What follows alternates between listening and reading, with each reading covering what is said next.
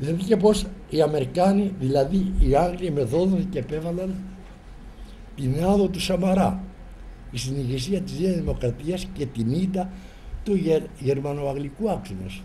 Ποιοι από εμάς εκάσαμε να προβληματιστούμε το τι έγινε στις λεγόμενες εσωτερικές διαδικασίες της Νέας Δημοκρατίας έγινε η σύγκρουση των δύο βασικών αξώνων της Ηνωμένης Ευρώπης του Αγγλικού και του Γαλλογερμανικού. Και ιτήθησαν με τις παρεμβάσεις των Αμερικάνων και των Άγγλων. Και είπαμε οι Αμερικάνοι λειτουργούν για λογαριασμό των Άγγλων. Και ανέβηκε το έτερο παιδί του Μπέρκλεϊ ο Σαμαράς. Και η Τίθη η Μπακογιάννη η οποία λόγω ιστορίας και σπουδών και λόγω συζύγου ήταν προσκολλημένη στον άλλο άξονα, το γερμανο-γαλλικό και οι δύο άξονες αυτοί συγκρούονται όπως ξέρετε μέσα στα, στην Ενωμένη Ευρώπη.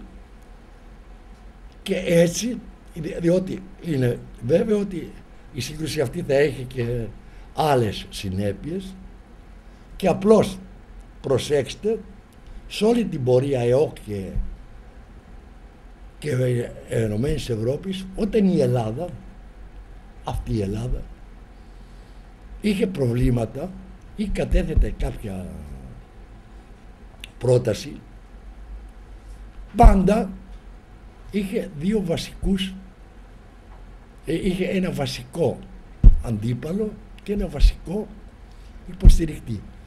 Πάντα οι Ολλανδοί ήταν εναντίον της Ελλάδος και στην ΕΟΚ και στο ΝΑΤΟ και πάντα οι Ιρλανδοί υποστήριζαν και υποστηρίζουν την Ελλάδα. Ε, δεν ψάξαμε να, να το δούμε αυτό. Έτσι, όπως δεν ψάξαμε να δούμε και τώρα με την κρίση τι σχέση, ε, ποιες χώρες βάλλονται και τι είναι αυτές οι χώρες.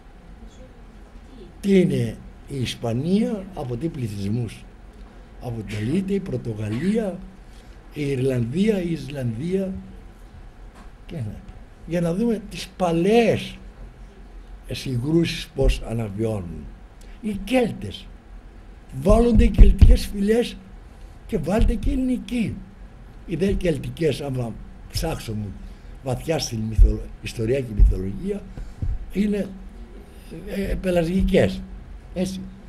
Τι γίνεται; Είναι τυχαία αυτά; Ή λειτουργεί αυτό που λέμε DNA ή γονιδίωμα οι καταγραφές του και έχουμε αναπαραγωγή; Δεν το ψάχνουμε, δεν το, δεν το συζητάμε.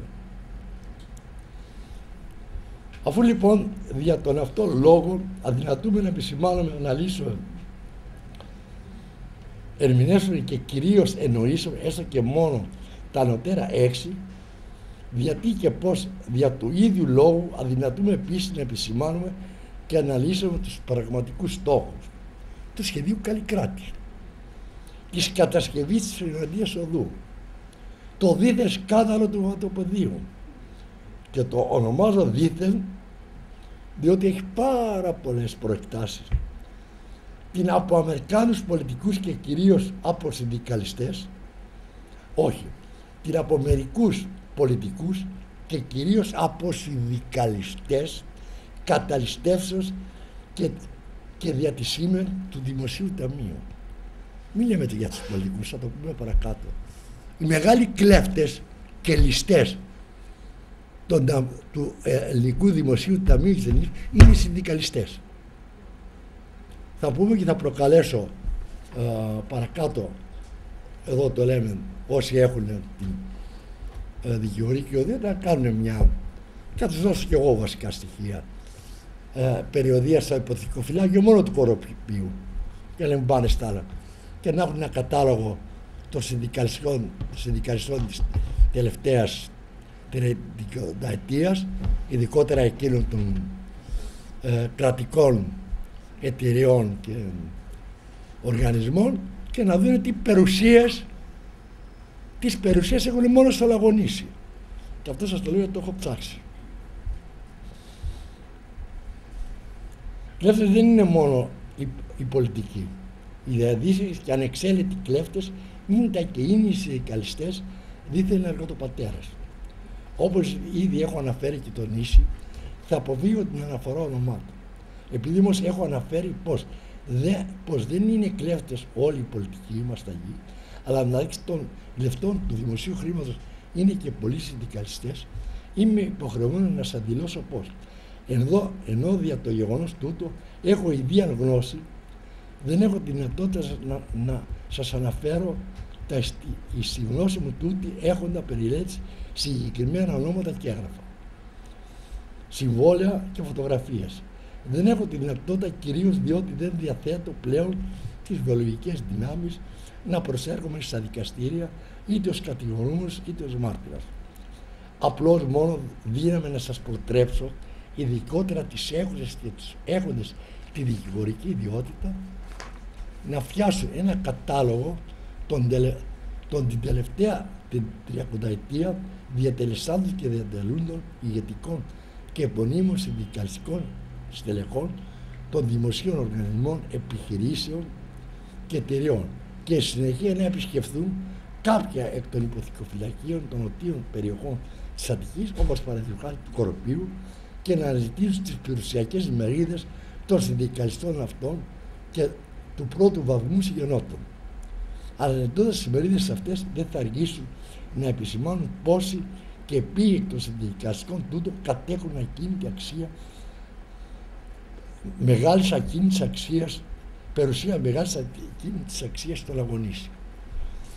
Σας το λέω αυτό γιατί έκανα αυτή την έρευνα διότι το 1900 προσέξτε το 1952 χωριατάκι ε, ε, με, με ένα κοντό μοναδικό πατελονάκι δούλευα στο, στον ανελκυστήριο του ΟΤΕ της οδού σταδίου 15 ανεβοκατέβαζα ε, τότε εκεί ήταν η διοίκηση του ΟΤΕ του τότε ΟΤΕ και συνεδρίασε το Διοικητικό Συμβούλιο.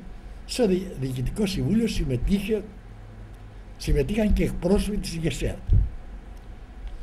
Όλοι, όπως ο καθηγητής Γουναράκης και ο Ναύαρχος Μεσόπουλος, ο Γενικός Διευθυντής και άλλοι, τουλάχιστον μου, μου, μου δείχνανε ένα στοιχειώδη σεβαρό, όπως το λένε Όταν έμπαινε ο εκπρόσωπος συγκεκριμένος της Γεσέλος πολύ ωραίος άντρας, παλίψιλος, ε, είχε επιβάλει στους συνδρομούς και κατά, κατά συνέπεια και σε μένα να κάνουμε ντουάδες.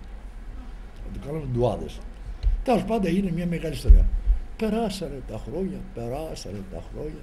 Φτάναμε στη δεκαετία, στα μέσα στη δεκαετία του 90 και με την γνωρίζομαι στη Θεσσαλονίκη μια πολύ πολύ αγαπημένη φίλη εξαιρετική, φίλη πραγματική και η οποία τελικά η φίλη αυτή αποδεικνύεται ότι κατέχει στο κολονάκι μια πολύ μεγάλη σειρά πολυτελεστάτων διαμερισμάτων. Και στο Λαγονίσι και στην Παλίνη όλο το λόφο αυτό όταν στρίβουμε την Παλίνη για να πάμε προς τα κάτω τέλος πάντων η γυναίκα μπορεί που τα βρήκες Λέει από τη μάνα μου τα κληρονόμησα. Και που τα βρήκε η μάνα σου. Τα κληρονόμησα από τον αδερφό της. Ποιος ήταν ο αδερφός της, ο συνδικαλιστής της ΓΕΣΕΔ που είχε έρθει στην Αθήνα ως πρόεδρος των Βαρκάριδων στα Χανιά. Έτσι, τότε τα Χανιά δεν είχαν τη Σούδα το λιμάνι και ήταν οι Βαρκάριδοι. Και ήταν αυτός πρόεδρος. Και απέκτησε αυτή την τεράστια περιουσία. Η Ροδότη και στο Κορονάκι, η γωνιακιά, πώς τη λένε, το, το δρόμο τον κεντρικό, ε, πατριάρχιο εκεί, οι τρεις τελευταίοι όροφοι είναι δική της. Δική της. Κατάλαβε. Στην Καρνεάδο δεν ξέρει πόσα διαμερίσματα των 200-400 μέτρων έχει. Έτσι.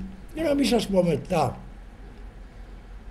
την παρέα μακρύ του τότε Προέδρου της ΓΕΣΕ το τι έγινε και όλοι αυτοί είχαν ένα μέντορα, το λεγόμενο ε, αντιπρόσωπο των Αμερικάνων εργατών, τον Μπράουν, ο οποίος ε, κατήφθηνε ε, τα πάντα και αυτός έβαλε στο, στο κόλπο.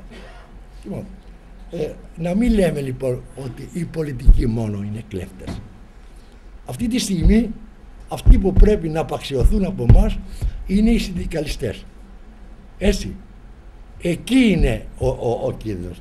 Μη εξαιρουμένων και των συνδικαλιστικών, συνδικαλιστών που ανήκουν στο,